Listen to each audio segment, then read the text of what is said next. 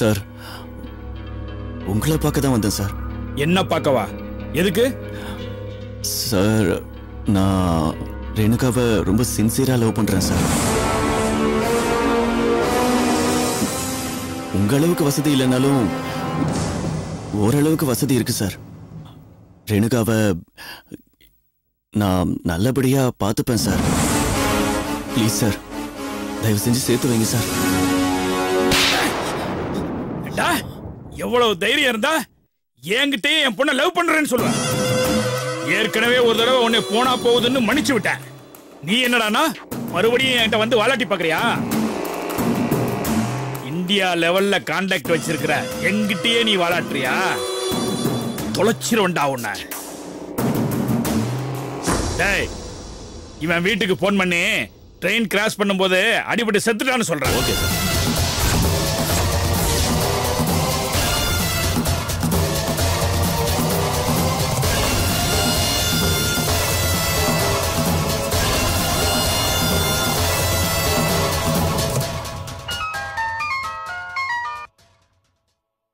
Hello?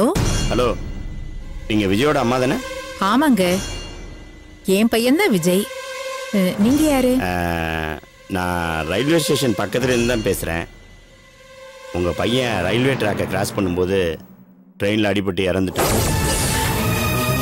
Vijay அம்மா அம்மா அம்மா. ஏன் பலா பலா பலா. அம்மா, என்னாச்சு? பலா? பலா? அம்மா, அம்மா, பலா? என்னாச்சும்மா? எழுந்திருமா பலா பலா. என்னாச்சுமா? இப்ப கதைப்படி நீ ட்ரெயின்ல அடிபட்டு செத்துட்ட. என்ன சாகாமலே செத்துட்டான்னு சொல்றேன்னு பாக்குறியா? ரொம்ப சிம்பிள் நான் சும்மா பார்த்து தலையாட்டினா போதும். உன்னை கொன்னு உன் பாடியை கொண்டு போய் ரயில்வே ட்ராக்ல போட்டுவானு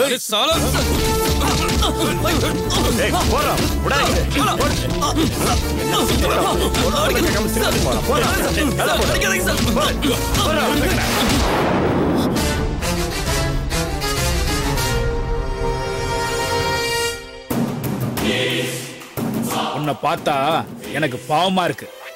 அதனால நீ உயிர் வாழ்றதுக்கு இன்னொரு சந்தர்ப்பம் கொடுக்குறேன். ஆனா ஒண்ணு இந்த நிமிஷத்துல இருந்து நீ ரேணுகாவை மறந்துடணும். அப்புறம் நீ ரேணுகாவோட பேசின பழகுனன்னு என் காதல விழுந்துச்சு.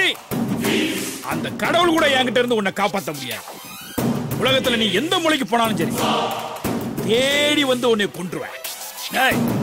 இவனை கூட்டிட்டு போய் ஹோட்டல் ரூமை காலி பண்ணிட்டு சென்னைக்கு இவனை பேக் பண்ணிருக்கேன். ஃப்ளைட் ஏறுற வரைக்கும் இவன் யாருகிட்டையும் பேசக்கூடாது. மீறி பேச முயற்சி செஞ்சான் என்கிட்ட கேட்கவே வேணாம். ஏற்கனவே நான் சொன்ன மாதிரி இவனை கொன்னு ரயில்வே ட்ராக்ல போட்டுங்கடா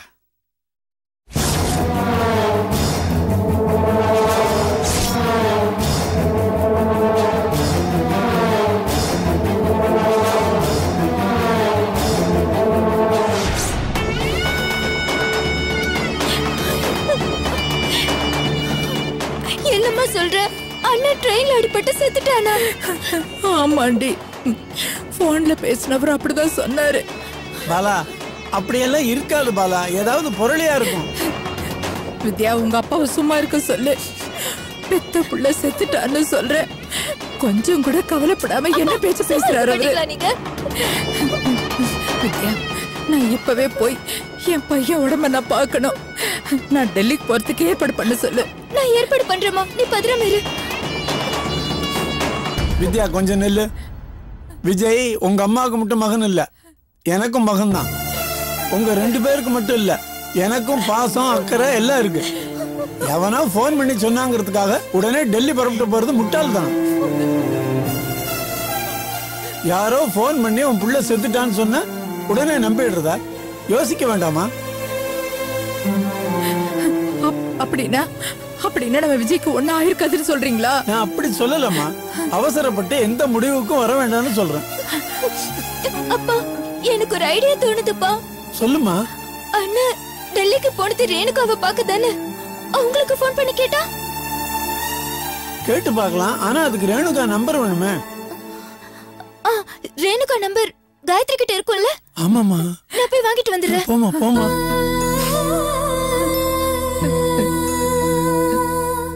கடவுளே என் பிள்ளைக்கு ஒன்னும் ஆயிருக்க கூடாது.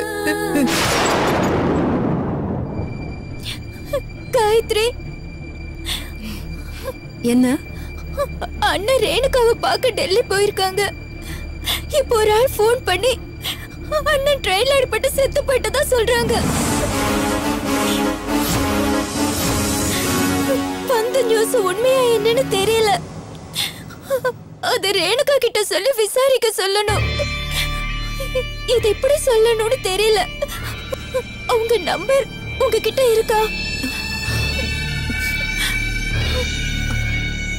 ஆ zero nine five one two four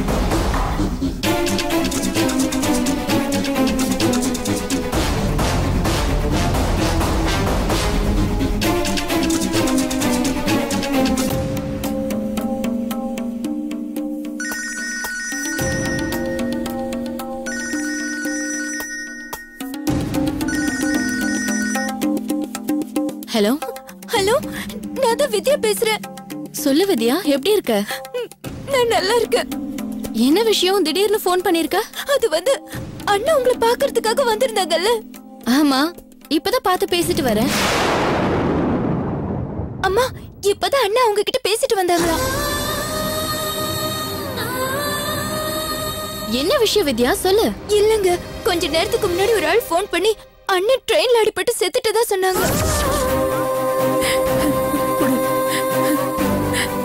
அம்மாடி ரேணுகா. என் பையன் உன்னை பார்க்க வந்தான் அவனுக்கு என்னாச்சு ஏதாச்சுன்னு கொஞ்சம் விசாரிச்சு சொல்லுமா. எனக்கு ரொம்ப கவலையா இருக்கு. நீங்க எதுக்கும் கவலைப்படாம தைரியமா இருங்க ஆண்டி. நான் என்ன ஏதுன்னு விசாரிச்சுட்டு வந்து நான் உங்களுக்கு கால் பண்றேன். சரிம்மா சரிம்மா.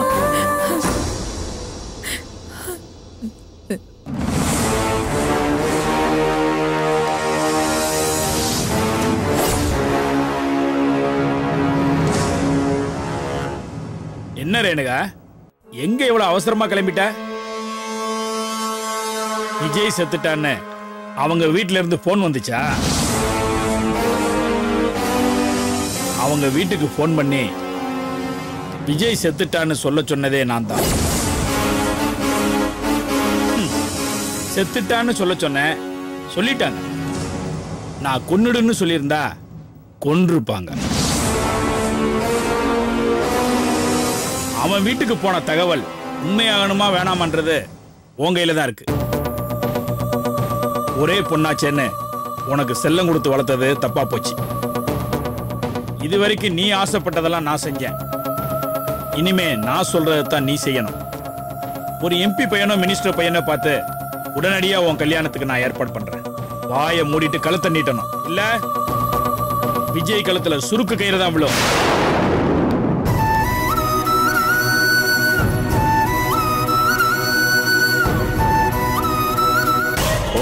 போடா. போடா போ. சீக்கிரம் போய் உன் துணியெல்லாம் ரெடி பண்ணு. பேக் பண்ணு. என்னடா முடிக்கிற? சீக்கிரம் கிளம்பு. லேட் ஆச்சுன்னா சென்னை ஃப்ளைட்டை பிடிக்க முடியாதுடா. உங்களுக்கு எதுக்கு சார் சிரமம்? நீங்க உங்க ஆளுங்களை கூட்டிட்டு கிளம்புங்க. நான் கொஞ்ச நேரம் ரெஸ்ட் எடுத்துட்டு ஈவினிங் ட்ரெயின்ல கிளம்பிடுறேன். ஓஹோ புத்திசாலித்தனமா நடந்துக்கிறதா நினைப்பா உனக்கு? நாங்க போனதும் ரேணுகா மேடத்துக்கு ஃபோன் பண்ணி என்ன மிரட்டுறாங்கன்னு சொல்லி அனுதாபம் சம்பாதிக்கலான்னு பாக்குறியா? ஏய் அந்த வேலையெல்லாம் இங்க நடக்காது. நீயா என் கூட வந்துட்டீன்னா ராஜமரியாதையோட ஃப்ளைட்ல ஏத்துவேன். எங்களை ஏதாவது ஏமாத்தணும்னு நினைச்ச ஃப்ளைட் தான் உன் மேல ஏறும். போடா. ஏய் எடுத்து வைங்கடா அச்சா சார்.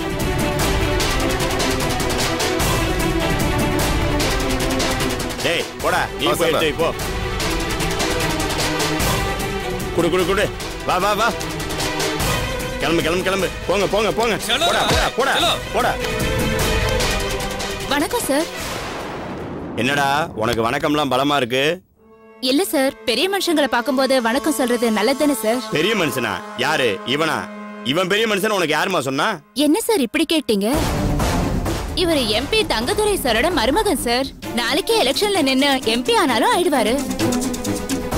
ஓஹோ இப்படி வேற சொல்லி வச்சிருக்கானா இவன்? ஆமா சார். மா இவன் எம்பியோட மருமகன் இல்ல ஒண்ணு இல்லம்மா. உன்கிட்ட போய் சொல்லியிருக்கான். சரி சரி பில்ல செட்டில் பண்ணு. எவ்வளவு பில்லு சொல்லுமா? சிக்ஸ் தௌசண்ட் ஃபோர் ஹண்ட்ரட் ஆயிருக்கு செட்டில் பண்ணிட்டு வாங்கடா. ஆ,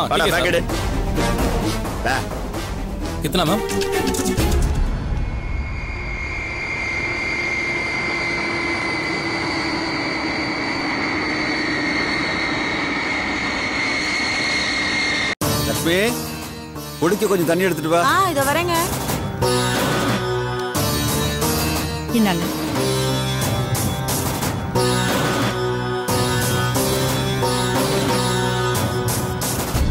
நம்ம கௌரிக்கு மாப்பிள்ளை பார்த்துருக்கேன்.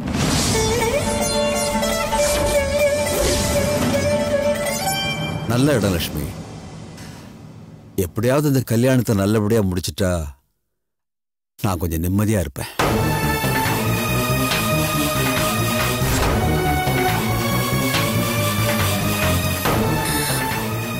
அம்மா இப்ப எனக்கு இந்த கல்யாணம் வேண்டாம்மா. அப்பா கிட்ட சொல்லுங்கம்மா. இப்ப நாம இருக்கிற நிலைமையில நான் எப்படிம்மா கல்யாணம் பண்ணிக்க முடியும்? ஏம்மா அப்பாவுக்கு புரிய மாட்டேங்குது? என்னால எதுவும் பண்ண முடியாது கௌரி. நீ சொல்றது எனக்கு புரியுது. ஆனா உங்க அப்பா கேப்பாருன்னு எனக்கு தோணல. வேணும்னா நீயே போய் பேசி பாரு. எனக்கு பயமா இருக்குமா? தயவு செஞ்சு நீயே பேசுமா? என்னால முடியாதுன்னு சொல்றேன்ல.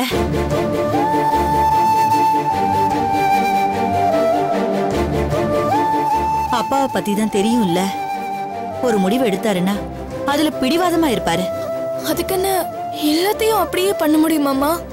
மனசுன்னு ஒண்ணு இருக்குமா? கல்யாணம்ன்றது ரொம்ப சந்தோஷமான விஷயம். அப்பா எனக்கு மாப்பிள்ளை பாத்திருக்கேன்னு சொல்லும்போது எனக்கு சந்தோஷமே இல்லம்மா. பயம்தான் இருக்கு. கௌரி ஆரம்பத்துல அப்படிதான் இருக்கும். போக போக எல்லாம் சரியாயிடும். என்ன? என்ன இங்க? அ, ஒ- ஒண்ணும் இல்லைங்க. கௌரிக்கு இப்போ கல்யாணம் வேண்டாங்கிறா. இவளுக்கு கல்யாணம் வேணுமா வேண்டாமாங்கிறது இப்ப விஷயம் இல்ல. இந்த கல்யாணம் நடந்தே தீரணும்.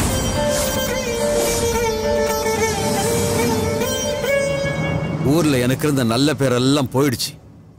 எல்லாம் அக்காவால. இந்த ஊர்க்காரங்க முன்னால மறுபடியும் நான் தலை நிமிந்து நடக்கணும்னா உன் கல்யாணம் நடந்தே தீரணும். அப்பதான் உன் அக்காவால ஏற்பட்ட களங்கம் போகும்.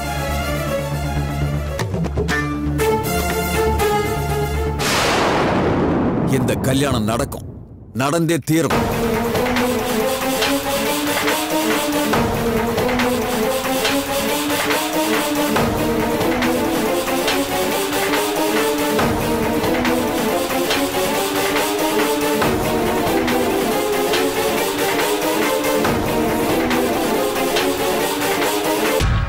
கம்பெனிக்கு உன்னோட பயோடேட்டா அனுப்பு.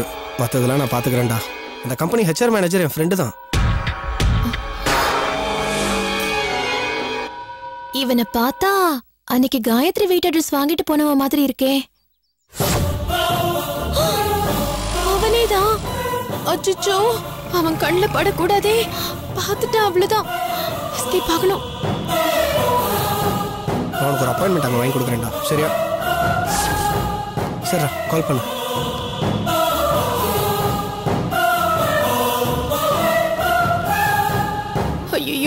யார் கண்ணுல படக்கூடாதுன்னு நினைச்சனோ? பட்டுட்டனே.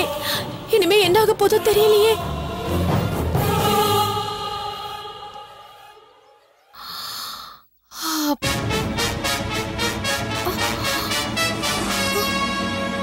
Hi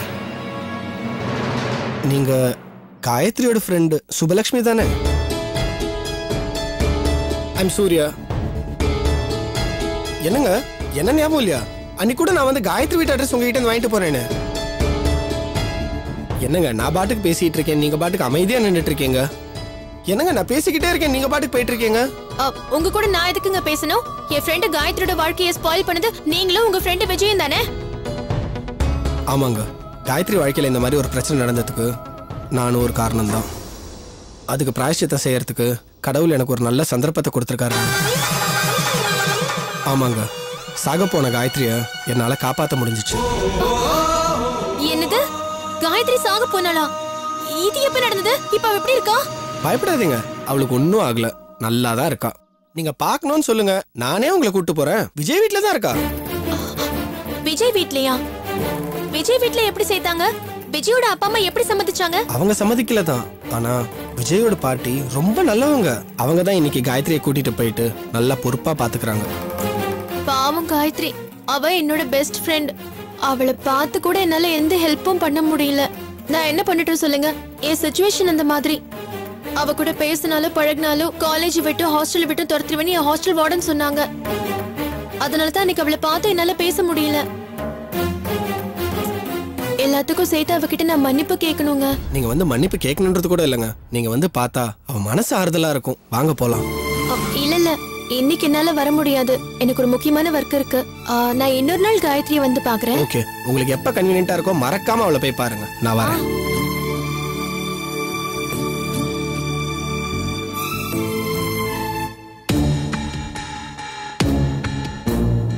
The subscriber cannot be reached at the moment. என்ன ஆச்சுன்னு தெரியலையே. விஜய் போனே எடுக்க மாட்டேங்கிறான்.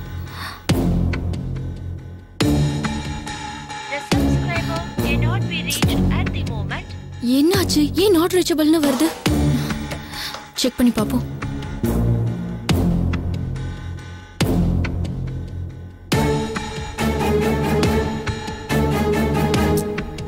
மெயில் கூட அனுப்பல. என்னாச்சு இவனுக்கு? எங்க இருக்கா? என்ன பண்ற? ஒண்ணுமே புரியல.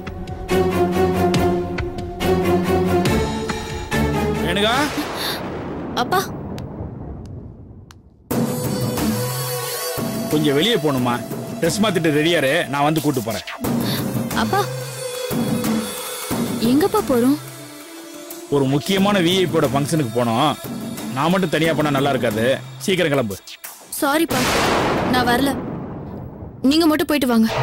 ஏன்? நான் இப்ப இருக்கிற மனநிலையில என்னால எங்கேயும் வர முடியாதுப்பா. விஜய்க்கு என்னாச்சோன்னு பதட்டமா இருக்கா? பயப்படாத. உன் அப்பா ஒன்றும் கொலகாரம் இல்ல. அரசியல்வாதி. நான் அவசியமா என் கையில நான் கரையை ஏற்படுத்திக்கிற மாட்டேன். அதுக்காக யார் என்ன செஞ்சாலும் பார்த்துட்டு சும்மா இருப்பேன்னு மட்டும் நினைக்காத. உங்க அப்பாவுக்கு அகிம்சையாவும் நடக்க தெரியும். தேவைப்பட்டா அராஜகமாகவும் நடந்துக்க தெரியும். நான் அந்த பையன் விஜய் கிட்ட அகிம்சையா நடந்துக்கிறதா? இல்ல அராஜகமா நடந்துக்கிறதான்னு நீ எப்படி நடந்துக்கிறியோ அதை பொறுத்து தான் இருக்கு. நீ அவனை மறந்துட்டு நல்ல பொண்ணா நடந்துட்டு நான் சொல்றத கேட்டேன்னா நானும் அவனை மறந்துடுவேன் அதுதான் உனக்கு நல்லது அவனுக்கு நல்லது. புரிஞ்சதா? குட் சீக்கிரம் ரெடி ஆகு.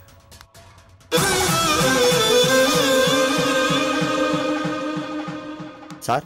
ஆ, இன்னைக்கு எத்தனை மணிக்கு ஃபங்க்ஷன் சார் அது ஆக்சுவலாக five o'clock function sir. ஏழு மணிக்கு ஹோம் மினிஸ்டரோட மீட்டிங் இருக்கு. அதுக்கப்புறம் நைன் ஓ கிளாக் நம்ம கான்ட்ராக்டோட பார்ட்டி இருக்கு சார். சரி ஃபர்ஸ்ட் ப்ரோக்ராமை கேன்சல் பண்ணிருங்க. செகண்ட் ப்ரோக்ராமை கன்ஃபார்ம் பண்ணிருங்க. Okay sir. அந்த விஜயை பேக் பண்ணி அனுப்பிச்சிட்டிங்களா? ஆ நீங்கள் சொன்ன மாதிரியே ஃப்ளைட்டில் ஏற்றி அனுப்பிச்சிட்டேன் சார். இனிமே அவன் இந்த பக்கமும் வரக்கூடாது. ரேணுகாவையும் பார்க்கக்கூடாது. அப்படி ஏதாவது நடக்குதுன்னு தெரிஞ்சிச்சுன்னா என்கிட்ட பெர்மிஷனே கேட்க வேணாம். அவன் கதையை நீயே முடிச்சிடு ஓகே சார் ஓ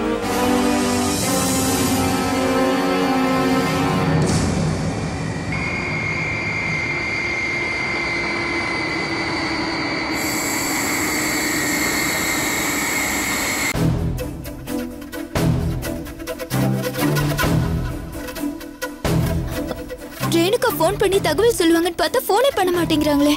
ஏய் நீ தான் ஃபோன் பண்ணி பாருண்டி என் புள்ள உயிரோட இருக்கானா இல்லையான்னு தெரியாம என் பெத்த வயிறு பத்திக்கிட்டு எரியுது. நானும் அப்பத்துல இருந்து ட்ரை பண்ணிட்டு தான் இருக்கேன். ஃபோன் நாட் ரீச்சபிள்னே வருது. கடவுளே என் பையனுக்கு என்னாச்சுன்னு தெரியலையே. பாலா ஒன்றும் ஆயிருக்காது பாலா. அதான் ரேணுகா அவனை பார்த்து பேசிட்டேன்னு சொல்லிட்டால இல்லைங்க அவன் ரேணுகாவை பார்த்து பேசினதுக்கு அப்புறம் ட்ரெயின்ல அடிபட்டிருக்கலாம்ல. அதாங்க என் மனசு தாங்க மாட்டேங்குது.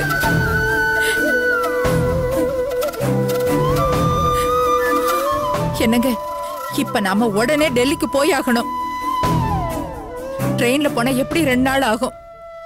என்னால அது வரைக்கும்ல என் பிள்ளைக்கு என்னாச்சோ ஏதாச்சோன்ல தெரியாம இருக்க முடியாதுங்க. உங்க அம்மா வேற எங்க போனாங்கன்னே தெரியல. உடனே நீங்க அவங்களுக்கு ஃபோன் பண்ணி ஃப்ளைட்ல போறதுக்கு ஏற்பாடு பண்ணுங்க. இரு முதல்ல என்ன ஏதுன்னு தெரிஞ்சுக்கலாம். அப்ப நாம டெல்லி போறத பத்தி முடிவு பண்ணுவோம். இப்பவே போய் அம்மாட்ட பேசினா ஏன் எதுக்குன்னு ஆயிரத்தெட்டு கேள்வி கேட்பாங்க. அம்மா ஏதோ ஆட்டோ சத்தம் கேக்குது. ஐயோ ஐயோ யார் என்னன்னு தெரியலையே கடவுளே.